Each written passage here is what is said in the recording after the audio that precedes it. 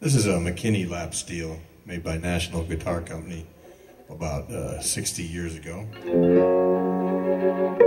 It's got the famous string through pickup and it's been beefed up by Rick Aiello's uh, magnets, the uh, Nebro magnets that he makes. They're amazing.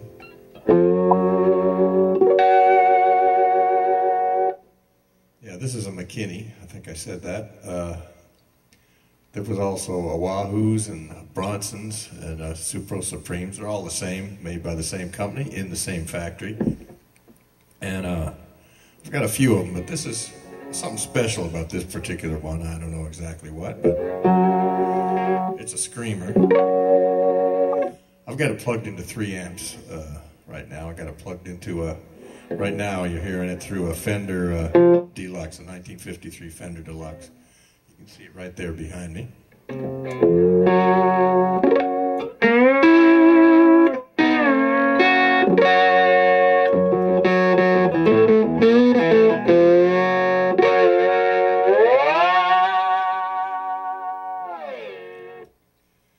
And uh, it's also plugged into a an old Gibson Maestro.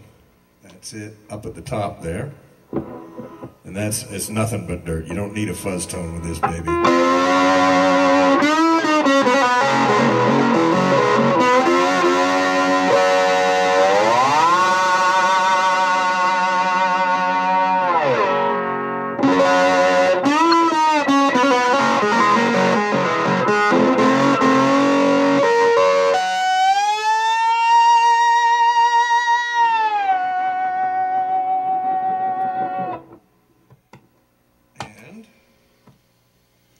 Fender Champ.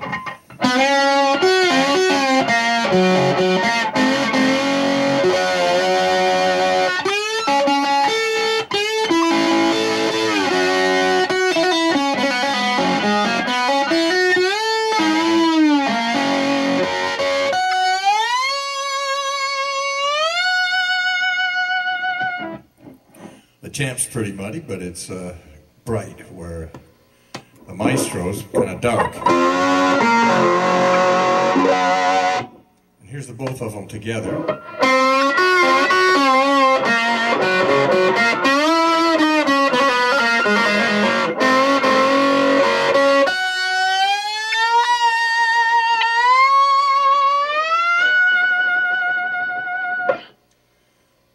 And here's all three.